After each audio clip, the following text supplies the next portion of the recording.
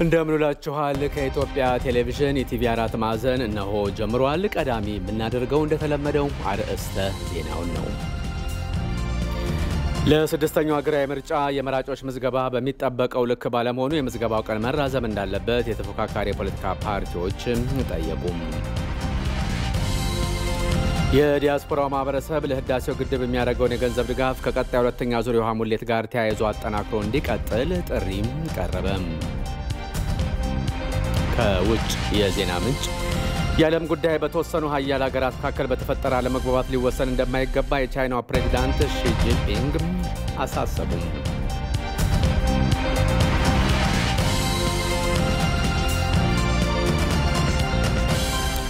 በያላችሁበት ቦታ ሆናችሁ ራሳቸውንም ሌሎችንም ከኮሮና ቫይረስ እየጠበቃችሁ እንደምትከታተሉን እምነታችን ነው። አብራችሁን ሆኑም።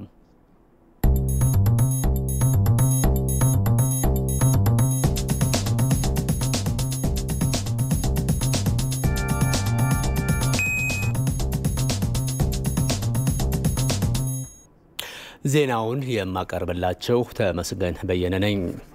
ለስድስተኛው ሀገራዊ ምርጫ የመራጮች ምዝገባ በሚጠበቀው ልክ ባለመሆኑ የተነሳ የምዝገባው ቀን መራዘም አለበት ሲሉ የተፎካካሪ የፖለቲካ ፓርቲዎች ጠየቁ። የፖለቲካ ፓርቲዎች በመገናኛ ብዙኃን እያደረጉ ያሉትን የምረጡኝ ቅስቀሳ በጥሩ ሁኔታ ላይ እንደሚገኝም ነው የገለጹት።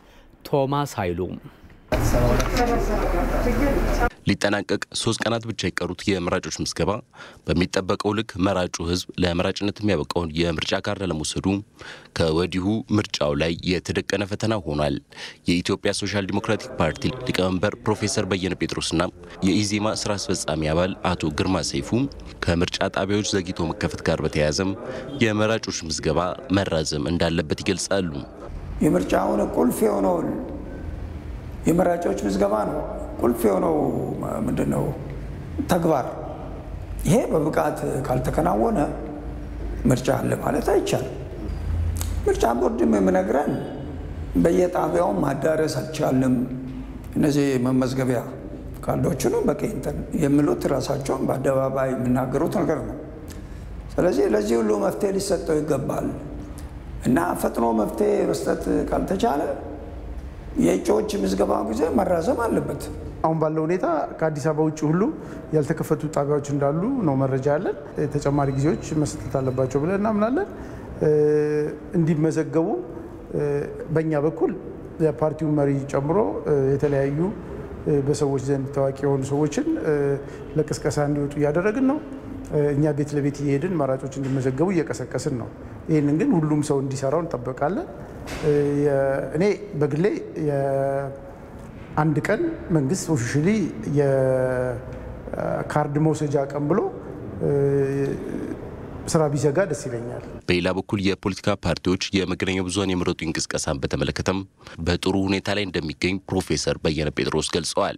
በዘንድሮ ዓመት በእውነቱ ምንም እኔ ብዙ እንከን በማላወጣለት ደረጃ የመገናኛ ብዙኃን ምንድነው ሰዓቶች ወይም ጊዜ እንትኖች በብዙዎቹ ተሰጥቷል። እኛ አሁን ሰባ ስድስት አጋጣሚዎች እንደሚኖሩን ነው በዝርዝር ተስፎ የተሰጠን ማለት ነው። ስለዚህ በእነዚዎቹ መልእክታችንን ለማስተላለፍ እየተንቀሳቀስን ነው፣ በሬዲዮም በቴሌቪዥኑም። የኢዜማ ስራ አስፈጻሚ አባል አቶ ግርማ ሰይፉ በበኩላቸው የምረጡኝ ቅስቀሳና ፉክክሩም በቀጥታ ስርጭት አለመሆኑ በክርክሩ ላይ መቀዛቀዝ አምጥቷል ብሎ ፓርቲያቸው እንደሚያምን ገልጸዋል። አንዱ ራሱ እኮ የመራጮችን ስሜት የሚያቀዛቅዘው እንደዚህ አይነት የቀጥታ ስርጭት ክርክሮችን ምን አይነት ይፈልጋል፣ ምን እንደሚመርጥ ይፈልጋል። አማራጭ ሲኖር ነው ምርጫ ያለው። ስለዚህ አማራጭ መኖሩን እንዲያውቅ እንደዚህ አይነቱ ፉክክሮች ምናምን መኖሩን ማሳየት ያስፈልጋል። ዜጎች ይወክለናል የሚሉትን ፓርቲ ለመምረጥ ከወዲሁ ለመራጭነት የሚያበቃቸውን የምርጫ ካርድ ሊወስዱ ይገባልም ሲሉ የፓርቲዎቹ አመራር ጥሪያቸውን አቅርበዋል። በኢትዮጵያ የዲሞክራሲ ስርዓት ግንባታ ሂደት በተለያዩ የከፍተኛ ትምህርት ተቋማት ተማሪዎች ድርሻቸው ላቅ ያለ መሆኑን ምሁራን ገለጹ። ምርጫ የዲሞክራሲ ስርዓት ግንባታን ለማጠናከርና የሀገሪቱን መጻኢ ዕድል ለመወሰን አንደኛው መንገድ እንደሆነም ነው የተናገሩት ምሁራኑ።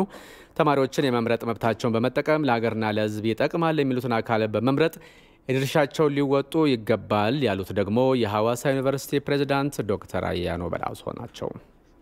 ሁሉም ተማሪዎች መብታቸው ነው። መብታቸውን ደግሞ በመምረጥ የሚፈልጉትን መሪ እንዲያገለግላቸው መምረጥ የዜግነት መብታቸውም ነው፣ ግዴታም ሊሆን ይችላል። ያን ደግሞ በዩኒቨርሲቲ ውስጥ ማሳካት እንዲችል ያ ምርጫ ቦርድ አንዳንድ ግንዛቤ አስጨብጦናል። በዛ ባስጨበጠው መሰረት ካርድ ተመዝግቦ ካርዱን ወስዶ የሚፈልጉትን ድርጅት ወይም ግለሰብ እንዲመርጡ መብታቸውን በዛ እንዲያረጋግጡ እኛ ድጋፍ እናደርገዋለን። የከፍተኛ ትምህርት ተማሪዎች የምርጫ ካርድ ወስደው የመምረጥ እድል እንዲያገኙ ድጋፍ እንደሚደረግ የገለጹ ደግሞ የሀረማያ ዩኒቨርሲቲ ፕሬዝዳንት ፕሮፌሰር መንግስቱ ወርጌ ናቸው። እድሜያቸው ለመምረጥ የደረሰ ተማሪ ነው ዩኒቨርሲቲ የሚገባው። እንግዲህ መምረጥ መብት ነው። ሰዎች መብታቸውን መጠቀም አለባቸው። በሀገራችን ደግሞ የምናልመውን ዲሞክራሲ ለማምጣት በምርጫ ነው። ቅድሚያ በምርጫ ነው። ሰዎች መብታቸውን ተጠቅመው የተዘጋጁ ፓርቲዎችን ሀገር ሊመሩ የሚችሉ ብቃት ያላቸው ፓርቲዎችን መምረጥ ወደ ዲሞክራሲ መንገድ የሚያሸጋግር ነው። በዚህ ብቻ ነው ዲሞክራሲን ማረጋገጥ የሚቻለው። የኢትዮጵያ ዜና አገልግሎት እንደዘገበው የከፍተኛ ትምህርት ተቋማት ምርጫ የሚኖረውን ሀገራዊ ፋይዳ በተመለከተ የግንዛቤ ስራዎች ሊሰሩ እንደሚገባ የተናገሩት ደግሞ የጎንደር ዩኒቨርሲቲ ፕሬዚዳንት ዶክተር አስራት አጸደወይን ናቸው። ተማሪዎቻችን እንዲመርጡ ስለ ግንዛቤ እንዲያገኙና መብታቸውን exercise እንዲያደርጉ ማድረግ ይጠበቅብናል።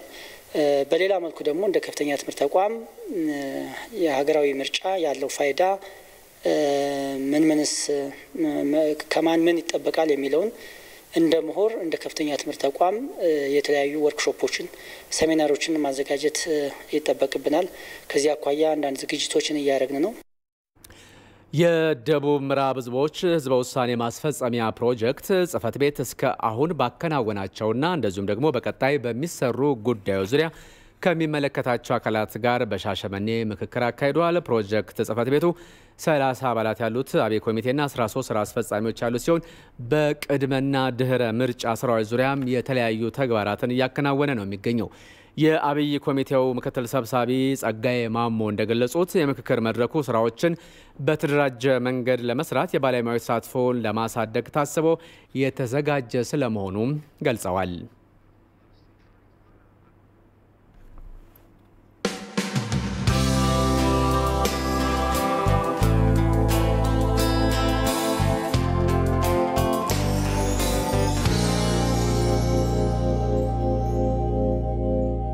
እስካሁን ድረስ በአመራር ብቻ ይሰራ የነበሩትን ስራዎች ተጨማሪ ባለሙያዎችን ያካተተ ግብረ ኃይል በማቋቋም ለተቋቋመው ግብረ ኃይል እስካሁን የተሰሩ ስራዎችን orientation መስጠትና ከዚህ በኋላ ደግሞ ባለሙያው በየሙያው በሚቋቋመው ክልል ውስጥ በሚያስፈልጉ የህግ የእቅድና የመሳሰሉ ጉዳዮች ላይ ተሳትፎ እንዲያደርግ ነው። ከዚህ አንጻር ፕሮጀክት ጽህፈት ቤቱ ተቋቁሟል ፕሮጀክት ጽህፈት ቤቱም እቅድ አዘጋጅቷል።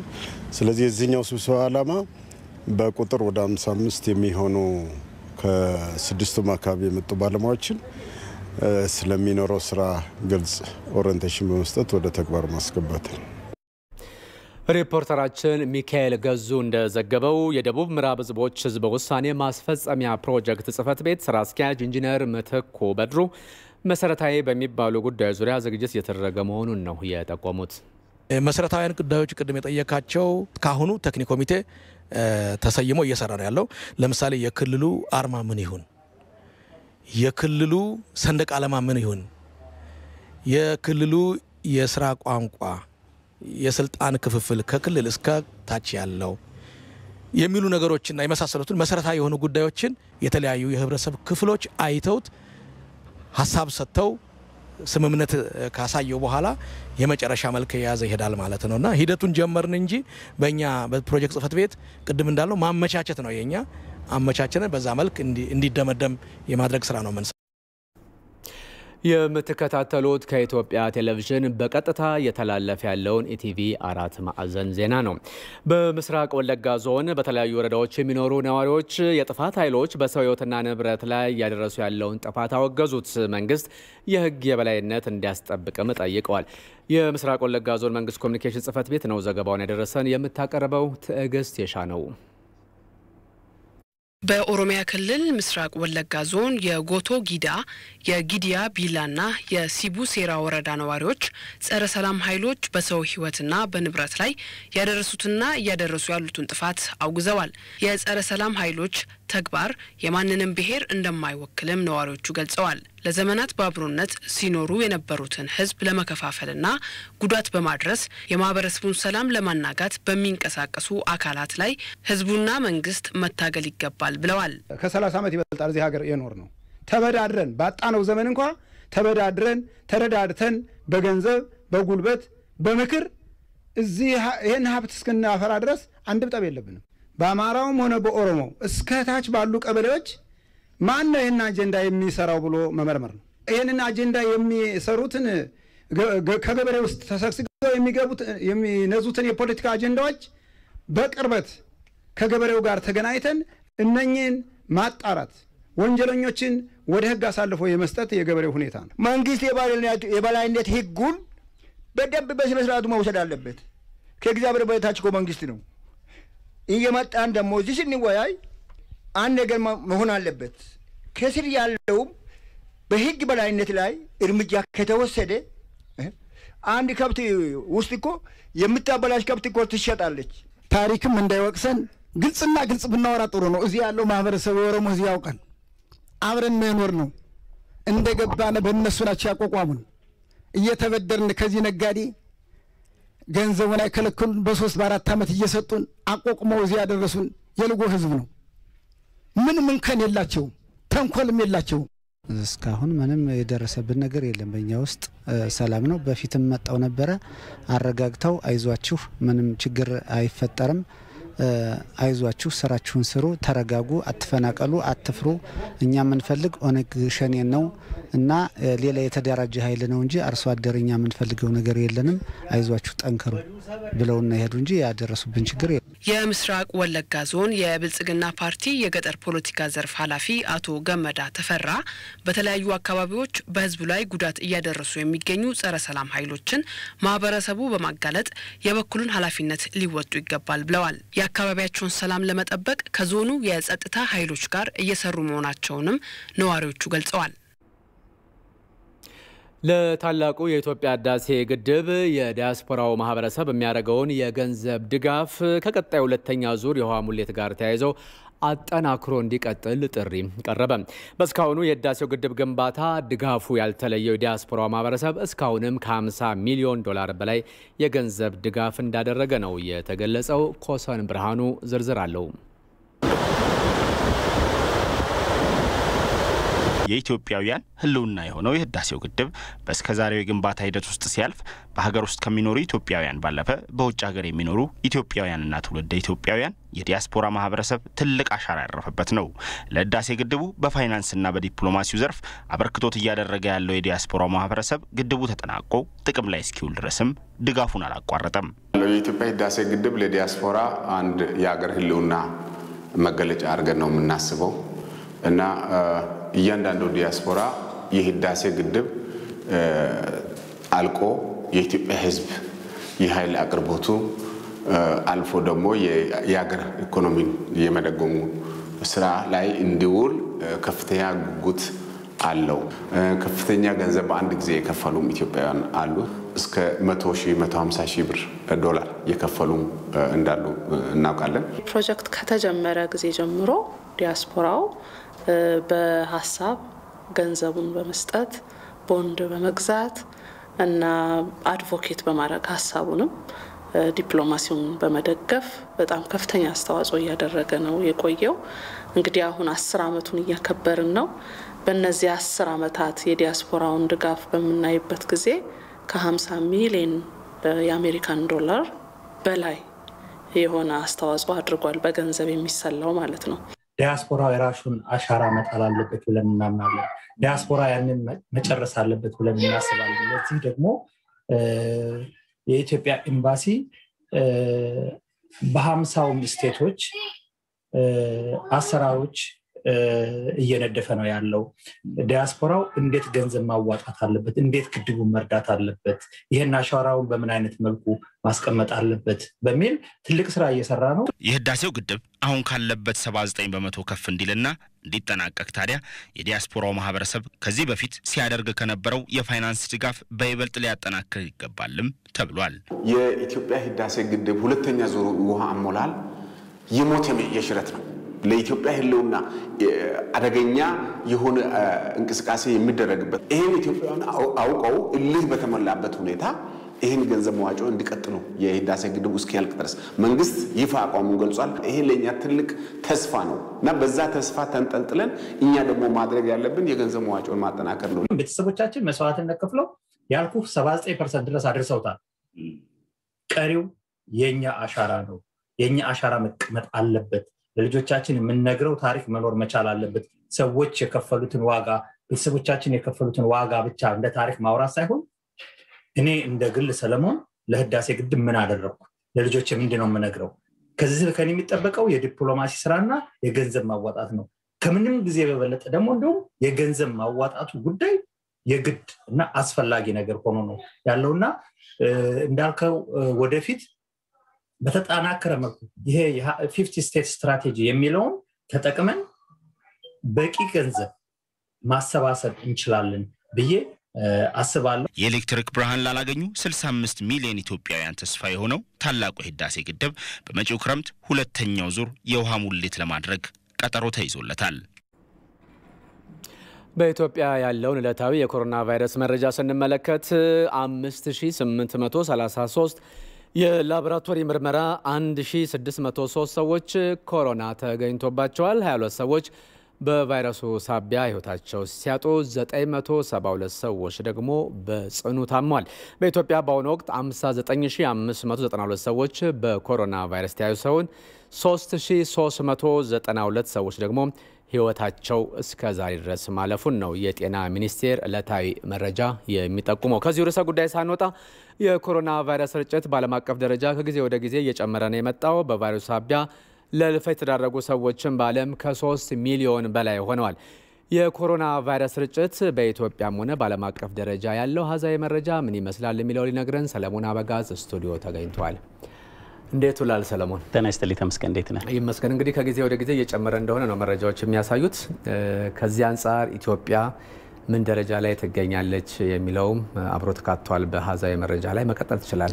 አመሰግናለሁ ተመስገን። ዓለማችን እጅግ በጣም እየተፈተነች ነው የምትገኘው። በዋነኝነት የኮሮና ቫይረስ ኮቪድ-19 ከገባ ጀምሮ በማህበራዊ በኢኮኖሚና ፖለቲካዊ ጉዳዮች ውስጥ እንግዲህ ቀውስ ውስጥ ገብቷል። የሰዎች የአኗኗር ዘይቤም ጭምር እስከ መቀየር ድረስ ደርሷል። በርካታ ሀገራቶችም ጭምር የጉዞ እገዳዎችን እያደረጉ ነው የሚገኘው።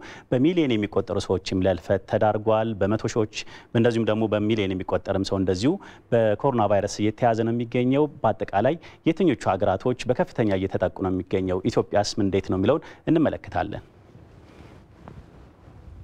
እስከ አሁን ድረስ በወጣው መረጃ መሰረት በዓለም አቀፍ ከ142 ሚሊዮን በላይ የሚሆኑ ዜጎች በኮሮና ቫይረስ የተያዙ መሆኑን መረጃዎች ያሳያሉ። ከነዚህ መካከል እንግዲህ 121 ሚሊዮን በላይ የሚሆኑት ደግሞ ከቫይረሱ ያገገሙ እንደሆኑም እንደዚሁ መረጃዎች የሚያሳዩ ነው የሚሆኑት። በአጠቃላይ ደግሞ በኮሮና ቫይረስ ሳቢያ ከ3 ሚሊዮን በላይ የሚሆኑ ዜጎች በዓለም ላይ ለህልፈት ተዳርጓል። የትኞቹ ሀገራቶች ደግሞ በኮሮና ቫይረስ በመጠቃት ደረጃ አሃዙን ይዘውታል? በሞት ደረጃ የሚለውን ደግሞ እንመልከት። በኮሮና ቫይረስ ከተያዙ ሰዎች መካከል በርካታ ቁጥር ያለባት ሀገር እንግዲህ አሜሪካ ናት። ወደ 32 ሚሊዮን በላይ የሚሆኑ ሰዎች በኮሮና ቫይረስ ተይዟል። ህንድን ደግሞ ስንመለከት እንደዚሁ ወደ 15.3 ሚሊዮን በላይ የሚሆኑ ዜጎቿ በኮሮና ቫይረስ የተያዙባትና ትልቁን ቁጥር ከያዙ መካከል ናቸው። ብራዚል ከ13.9 ሚሊዮን በላይ የሚሆኑ ዜጎቿ ደግሞ በኮሮና ቫይረስ ምክንያት እንደዚሁ ከተጠቁት ከፍተኛ ቁጥር ካለባቸው ሀገራት መካከል የሚጠቀሱ ናቸው። በሞትም እነዚህ ሶስቱ ሀገራቶችም ደግሞ በቅደም ተከተል ይዘውታል። እሱን እንመልከት። አሜሪካ ቀዳሚውን ስፍራ ትይዛለች። እንግዲህ በኮሮና ቫይረስ ሳቢያ በርካታ ሰዎች ከሞቱባት መካከል ማለት ነው ከ581 ሺህ በላይ የሚሆኑት ከግማሽ ሚሊዮን በላይ የሚሆኑ ዜጎቿን በኮሮና ቫይረስ ሳቢያ ተነጥቃለች ማለት ነው። በሁለተኛ ደረጃ የምንመለከታት ብራዚልን ነው። ከ375 ሺህ በላይ የሚሆኑ ዜጎቿን በኮሮና ቫይረስ ሳቢያ ለህልፈት ተዳርገውባታል። ህንድም ከ180 ሺህ በላይ የሚሆኑ ዜጎቿ በኮሮና ቫይረስ ከተነጠቁት ሀገራት መካከል ቀዳሚውን ስፍራ ትይዛለች። እንግዲህ በ24 ሰዓት ውስጥ በአንድ ጊዜ ብቻ በርካታ ሰዎችም እየተያዙባት ያሉት ሀገር አለችና እሷንም እንመልከት። በአንድ ቀን ወይም በ24 ሰዓት ጊዜ ውስጥ እንግዲህ 1757 ዜጎቿን በሞት ተነጥቃለች ነው የሚለው መረጃ የሚያሳየው ህንድ ነች። በሁለተኛ ደረጃ ደግሞ እንደዚሁ ከ256 ሺህ በላይ የሚሆኑ ዜጎቿን በህንድ በአንድ ቀን ብቻ ወይም በ24 ሰዓት ጊዜ ውስጥ በኮሮና ቫይረስ ተይዟል። እንግዲህ የሚያሳየው ህንድ ከጊዜ ወደ ጊዜ የኮሮና ቫይረስ ስርጭት የተስፋፋባት የሚሞቱ ሰዎች ቁጥርም በአንድ ቀን ብቻ በ24 ሰዓት ውስጥ እጅግ በጣም እየላቀ መሆኑን ያሳያሉ። እንግዲህ የአውሮፓ ሀገራት አጠቃላይ ብዙ ሀገራቶችም የጉዞ እገዳዎችን፣ ክልከላዎችን እየጣሉ ይገኛሉ። ምን ያህል ሀገራቶች የጉዞ እገዳዎችን ክልከላ ጣሉ የሚለውን ደግሞ እንመልከት። በርካታ ኢኮኖሚና ማህበራዊ ቀውሶችም ለመከላከል ሲሉ ሀገራቶች የጉዞ እገዳዎችን ክልከላዎችን ጥሏል። ወደ 50 አካባቢ የሚሆኑ ሙሉ በሙሉ የጉዞ እገዳዎችን የጣሉ ሀገራት ናቸው። 122 የሚሆኑ ደግሞ በከፊል የጉዞ እገዳዎችን ጥለዋል። ከነዚያ መካከል ደግሞ 43 የሚሆኑ የዓለም ሀገራት ግን እስካሁን ክልከላ ያልጣሉ እንደሆነ መረጃዎች ያሳያሉ። ወደ ኢትዮጵያ ያለውን አሃዛዊ መረጃና የስርጭቱ ሂደትን ደግሞ እንመልከት በስተመጨረሻ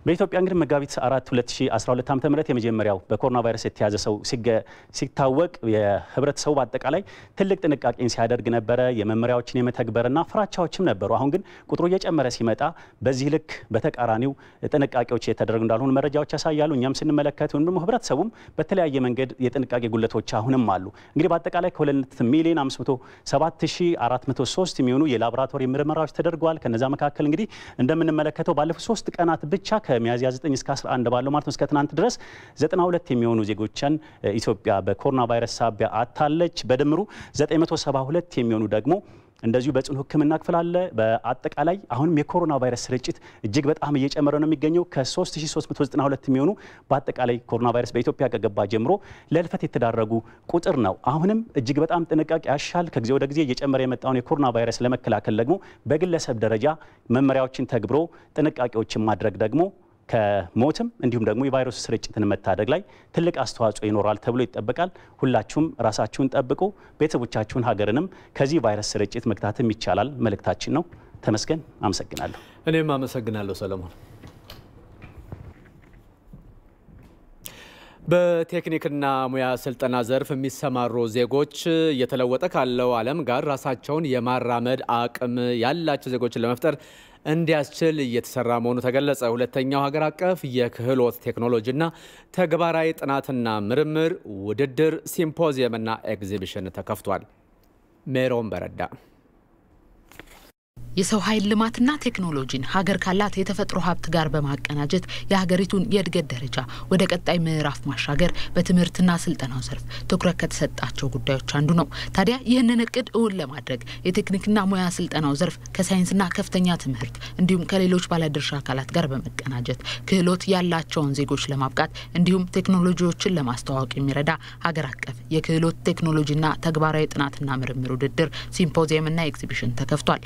የቴክኒክና ሙያ ስልጠና ዘርፍ ስራና ሀብት የፈጠሩ ዜጎችን ማብቃት የቻለ ዘርፍ መሆኑን የጠቆሙት የፌዴራል ቴክኒክና ሙያ ስልጠና ኤጀንሲ ዋና ዳይሬክተር አቶ ጌታቸው ነጋሽ የቴክኒክና ሙያውን ዘርፍ ገጽታ ለመገንባትም ሀገር አቀፍ አውደ ርዕዩ ከፍተኛ ሚና እንደሚጫወት ገልጸዋል። ሁለተኛው ሀገር አቀፍ የክህሎት የቴክኖሎጂና ተግባራዊ ምርምር ውድድር ሲምፖዚየምና አውደ ርዕይ በዋናነት ያነገበው ዓላማ የዘርፉን ተዋናዮች በማቀራረብና ተጠቃሚውን ማህበረሰብ የተጠቃሚውን ማህበረሰብ ትኩረት በመሳብ የቴክኒክና ሙያ ገጽታን በመገንባት ዜጎች ሙያ ሀብት መሆኑን በሚገባ ተረድተው ከዘርፉ ትሩፋቶች ተጠቃሚ እንዲሆኑ ለማስቻል ነው። የቴክኒክና ሙያ ስልጠና ስርዓት ዋና ዓላማ ብቃት ያለው እየተለወጠ ካለው ዓለም ጋር ራሱን ማራመድ የሚችል እንዲሁም የገበያውን ፍላጎት በማሟላትና ለልማት ስራ አስቻይ ሁኔታን መፍጠር የሚችል ዜጋን ማብቃት ነው ያሉት የሳይንስና ከፍተኛ ትምህርት ሚኒስትር ዶክተር ሳሙኤል ሁርካቶ ዘርፉን ወደ ላቀ ደረጃ ለማጎልበትም እየተሰራ መሆኑን ጠቁሟል።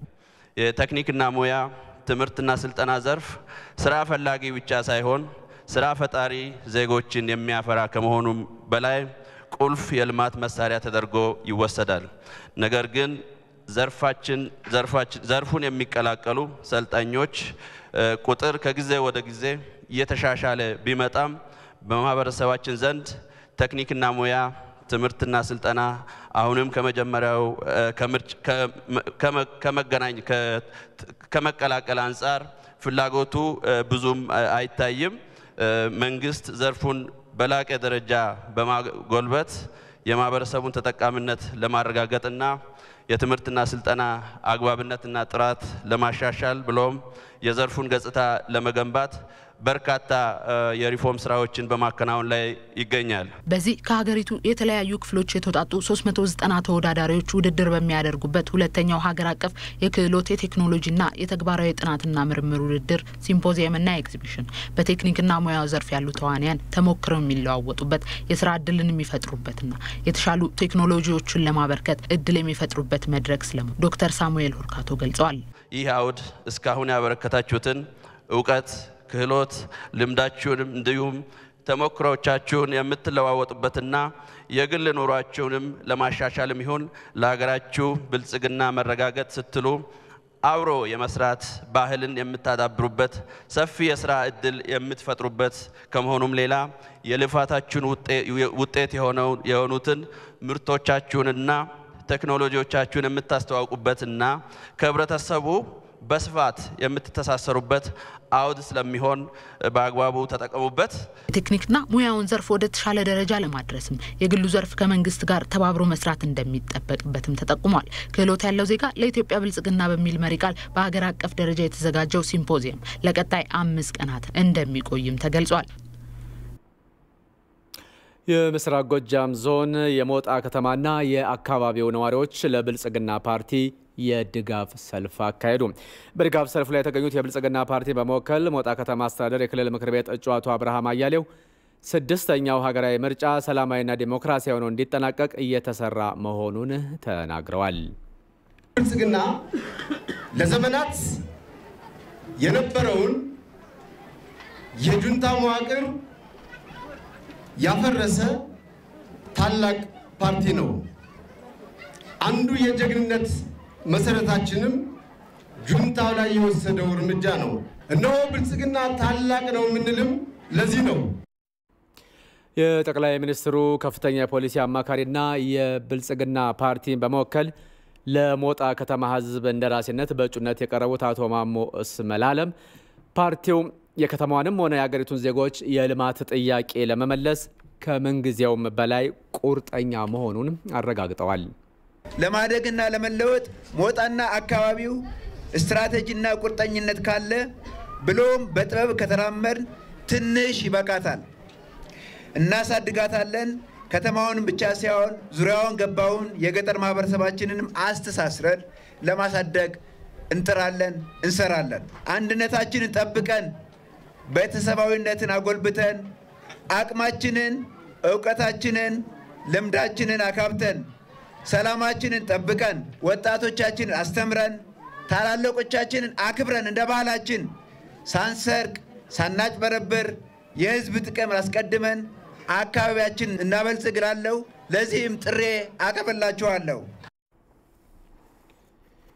የበርካታ ባህል ባለቤት በሆነች ኢትዮጵያ ከሰላምታ ጀምሮ ታላቅን ማክበር መታዘዝና ይህን የመሰሉ ልክና ተገቢ ናቸው ተብለው የሚቀመጡ ከልጅነት ጀምሮ ሰዎችን እያነጹ የሚሄዱ እሴቶች ይገኛሉ። ሪፖርተራችን ፋሲካ እያሌው ታዲያ በደቡብ ኦሞ ዞን በነታ ወረዳ ተገኝታ አሁንም ድረስ በዘለቀው የማህበረሰቡ የአቀኝነት እሴት ዙሪያ ያዘጋጀችው ዘገባ አለ፣ እንደሚከተለው ይቀርባል።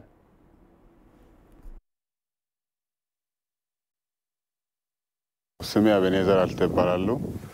ያው በአካባቢያችን ያለው ነገር ያው የጠፋ ነገር የሰው ነገርም ሆነ ከራሳ የራሳችንም ነገር ከጠፋ የጠፋውን ገንዘብ ይሁን ከፍት፣ ፍየል፣ የትኛውም ይሁን መርፌ ይሁን በጣም ትንሽ ነገር ቦርሳ፣ ከዛም አልፎ የመኪናም ጎማ ይሁን ምንም አይነት ነገር ካገኘን የተገኘውን እቃው ባለበት ቦታ አስቀምጠን አባቱ እስክመጣ ነገሩ ይበስብስ እንጂ ሌላም ነገር ይሁን እንጂ ከተቀመጠበት ቦታ ሌላ ሰው እንደማይነካ በማለ ወረዳ በዙሪያው የትኛውም አካባቢ የጣልነውን እቃ የራሳችንን የሆነውን ጠፍቷል ብለን ተስፋ የምንቆርጥበት ሳይሆን የጠፋንን እቃችንን እናገኛለን በማለት የእኛም ሆነ ሌላ አካባቢ የመጣ ሰውም ካለ እቃውን እንደሚያገኝ ተስፋ አድርጎ የሚመጣበት አካባቢ ነው። ገንዘብ አሁን ለምሳሌ እኔ ከጠፋብኝ የጠፋብኝን ገንዘብ ከኔ ኋላ መጥቶ የተከተለው ሰው ገንዘቡን ካገኘ በአካባቢው ያለ ሰው ካለ እንደዚህ አይነት እቃ ጥላቸዋል እንደ ብሎ ይጠይቃል።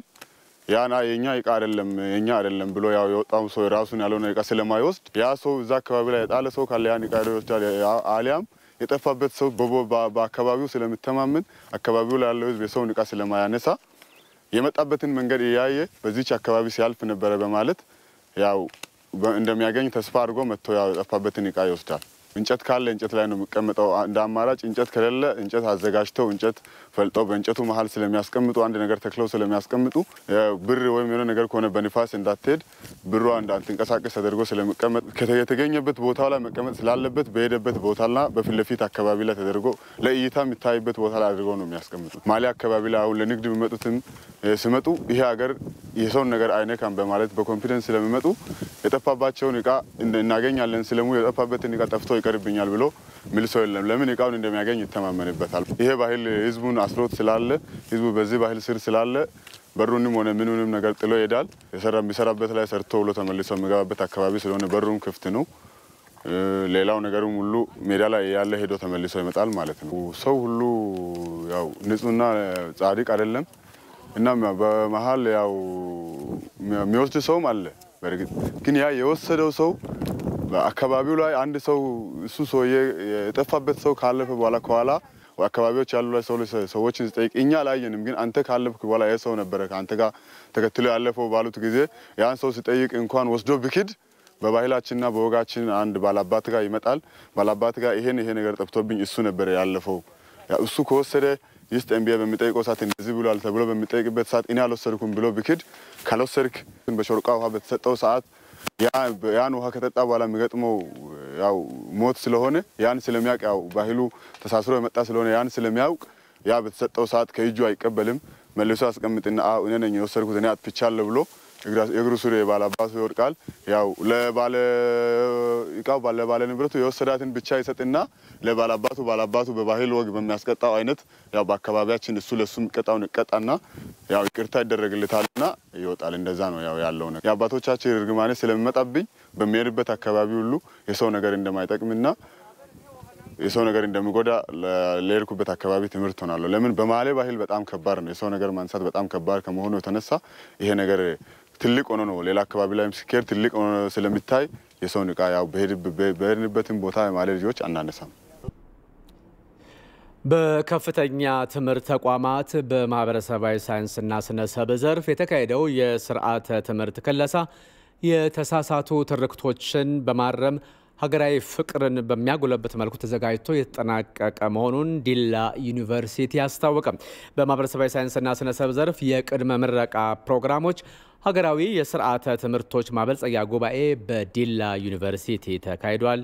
ለዝርዝሩም ሩት ወርቁ በከፍተኛ ትምህርት ተቋማት በማህበራዊ ሳይንስና በስነ ሰብእ ዘርፍ የተካሄደው የስርዓተ ትምህርት ክለሳ ትክክል ያልነበሩ ትርክቶችን በማረም ሀገራዊ አንድነትን በሚያጎለብት መልኩ ተዘጋጅቶ የተጠናቀቀ መሆኑን የዲላ ዩኒቨርሲቲ አስታውቋል።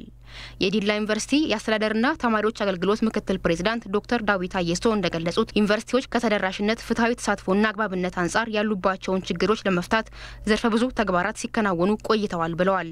በትምህርት ዘርፍ ማነቆ ሆነው የቆዩትን የጥራትና አግባብነት ችግር ለመቅረፍ የስርዓተ ትምህርት ክለሳ ቁልፍ ተግባር መሆኑንም አመልክተዋል። በሀገራችን የታዩ አንድ ቁልፍ ጉዳዮች ምንድን ነው?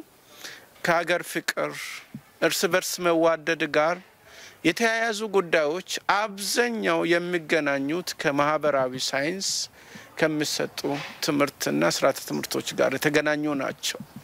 ስለዚህ ይህ ስርዓተ ትምህርት አሁን የተዘጋጀው ዜጋው አገሩን እንዲወድ እርስ በርስ መዋደድና መቻቻል በሚያስችል መልኩና መጪው ትውልድ ምክንያታዊ በሚሆንበት መንገድ የተቀረጸ የትምህርት ፍኖተ ካርታን መሰረት በማድረግ በማህበራዊ ሳይንስና በስነ ሰብእ ዘርፍ በሀገሪቱ ዩኒቨርሲቲዎች የሚገኙ 55 ፕሮግራሞች በስርዓተ ትምህርት ዝግጅቱ ላይ መካተታቸውን የገለጹት ደግሞ የዩኒቨርሲቲው አካዳሚክ ፕሮግራሞች ዳይሬክተር ዶክተር ደረጃ ኃይሌ ናቸው።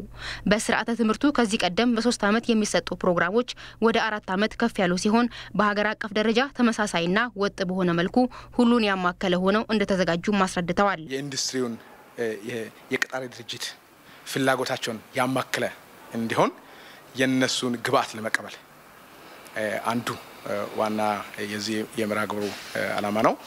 እንዲሁም የተለያዩ ተቋማት ፕሮግራሞችን እየሰጡ ስለሆነ የተዋደደ ወይም በእንግሊዝኛው ሃርሞናይዝድ ካሪኩለም የምንለውን በሀገር አቀፍ ደረጃ ተመሳሳይ የሆነ ወጥ የሆነ ስርዓተ ትምህርቶችን የማዘጋጀት ስራ እየተሰራ ነው።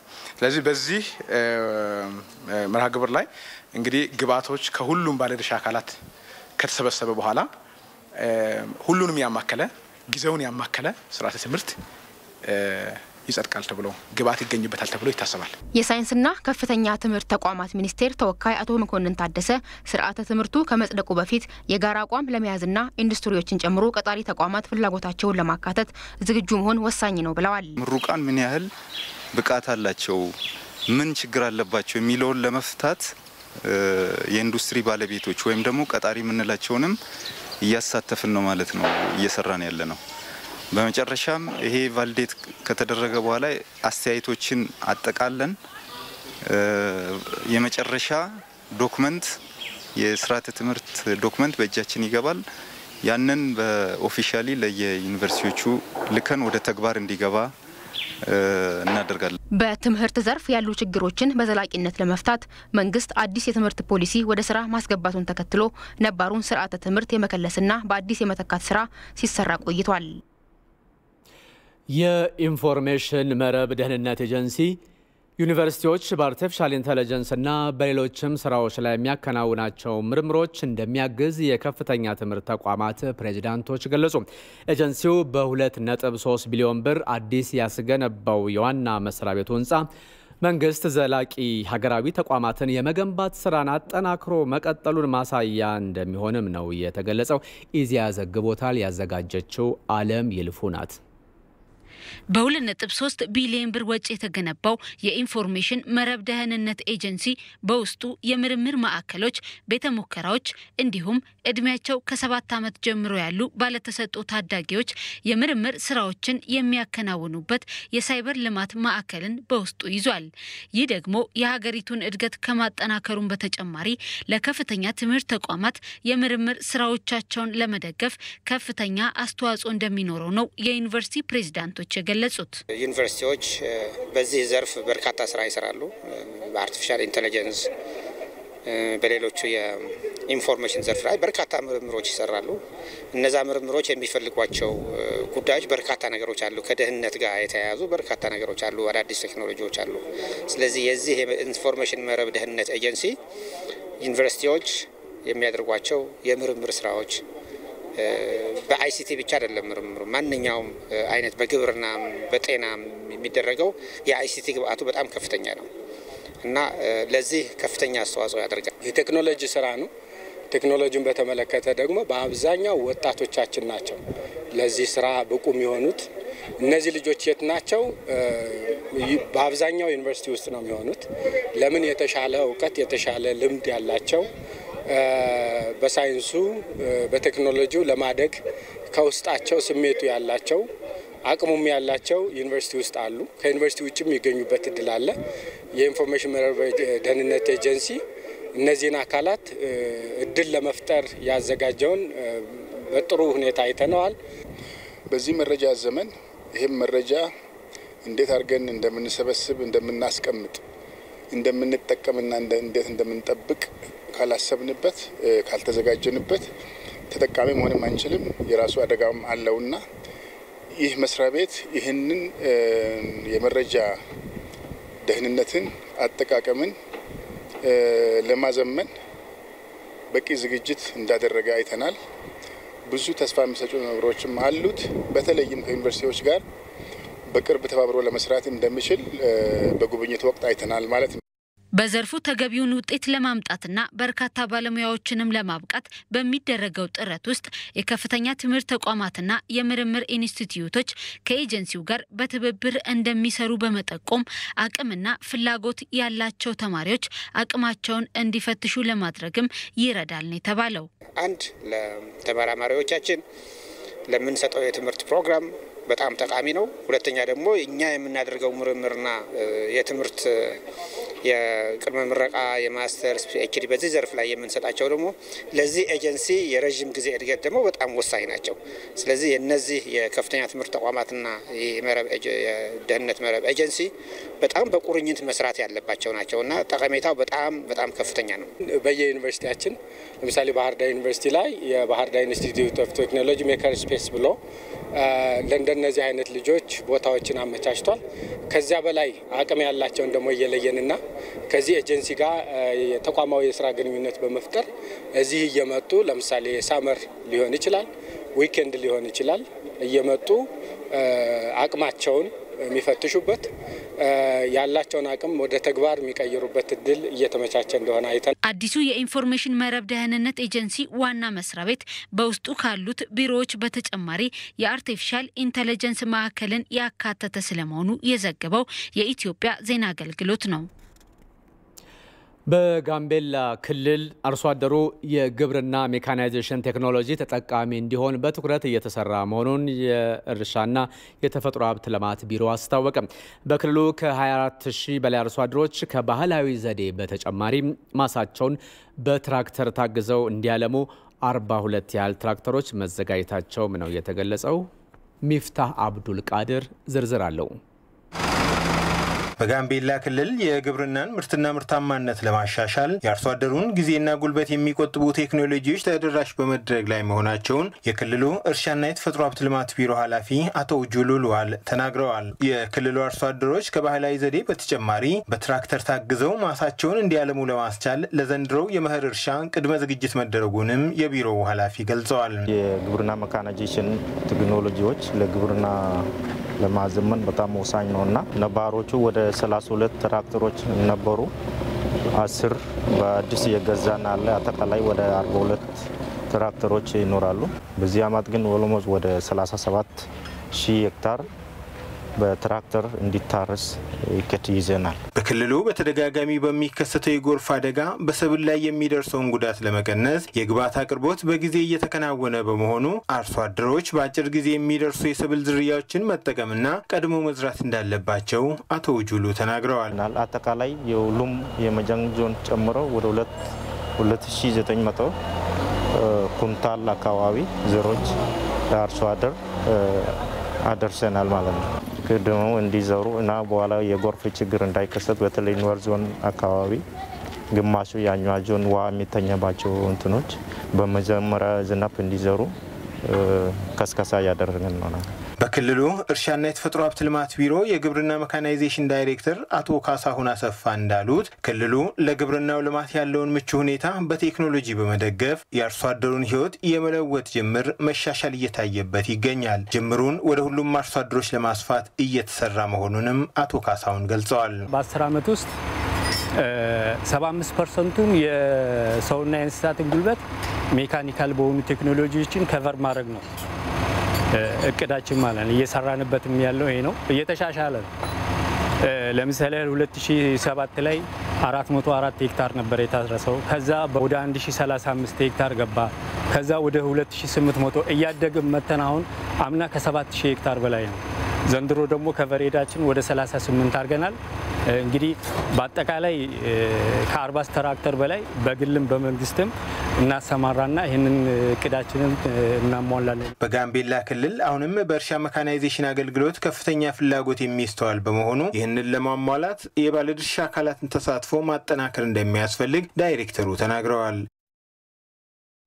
ከውጭ የዜና ምንጭ ወደ ያዝናቸው ርዕሰ ጉዳዮች ስናልፍ ኮሮናን እናስቀድማለን። ህንድ እድሜያቸው ከ18 ዓመት በላይ ለሆኑ ዜጎቿ የኮቪድ-19 ክትባት ልትሰጥ ነው። ክትባቱን ለማስፋት የተገደደችውም በአገሪቱ የተከሰተው ሁለተኛው ዙር የኮቪድ ማዕበል ዋና ከተማዋ ኒውዴልሂን ጨምሮ በርካታ ከተሞቿን በማጥለቅለቁ የተነሳ ነው ብሏል ቢቢሲ በዘገባው። ክትባቱም እድሜያቸው ከ18 ዓመት በላይ ላሉ ወጣቶች በሙሉ በቀጣዩ ወር ግንቦት አንድ ጀምሮ እንደሚሰጥ የአገሪቱ መንግስት በሰጠው መግለጫ ላይ አስታውቋል። ነገር ግን ሀገሪቱ አሁን ካለው የክትባት መጠን አንጻር በቂ ባለመሆኑ የተነሳ ተጨማሪ የሚያስፈልጋት ክትባት ከየት ማምጣት እንደወሰነች ግን የታወቀ ነገር የለም ነው ያለው ዘገባው። የሀገሪቱ መንግስት ባለፈው ሳምንት እንዳሳወቀው 27 ሚሊዮን የሚጠጋ የክትባት መጠን እንዳለውና እስካሁንም የጤና ባለሙያዎችን በስራቸው ለቫይረሱ ተጋላጭ የሆኑና እንዲሁም እድሜያቸው ከ45 ዓመት በላይ የሆኑ ዜጎችን ክትባት ሰጥቻለሁ ቢልም በወረርሽኙ የማሃራሽትራ ግዛት የክትባት እጥረት እንዳጋጠማት ሪፖርት እያደረገች ትገኛለች ብሏል ቢቢሲ በዘገባው ማጠቃለያ ላይ።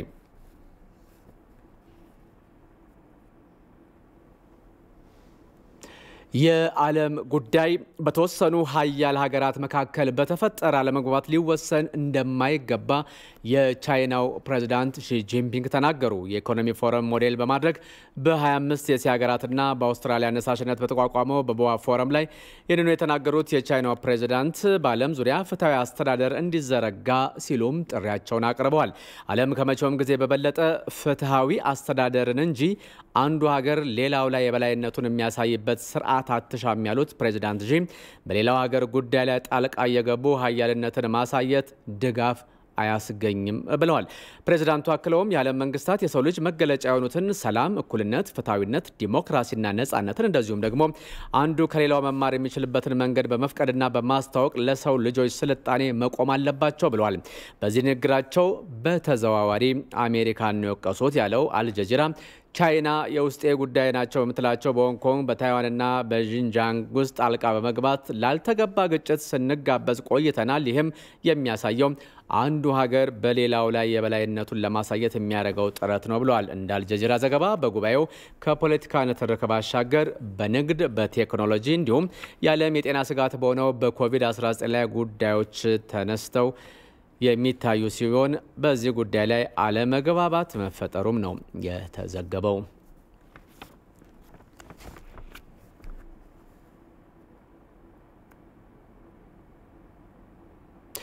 ራሳችሁንም ሌሎችንም ኮሮና ቫይረስ እየጠበቃችሁ ከእኛ ጋር ሆኖ ኢቲቪ አራት ማዕዘን ይቀጥላል።